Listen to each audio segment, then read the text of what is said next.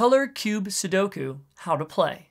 The object of this single player puzzle game is to flip and rearrange the nine color cubes into a 3x3 square so that each of the six colors only appears once in each row and column. Each cube has exactly four colors. No two cubes contain the same four colors. The arrangement of the colors is different on each side of the cube, but all the cubes follow the same pattern. Once each color only appears once in each row and column, you win. For added complexity, try solving the puzzle with these variations. 1. No square can be diagonally next to another of the same color. 2. Create a diamond pattern where each side of the cube is the same color. 3. Create two diagonal lines, each of the same color, that are 5 blocks long that intersect one another.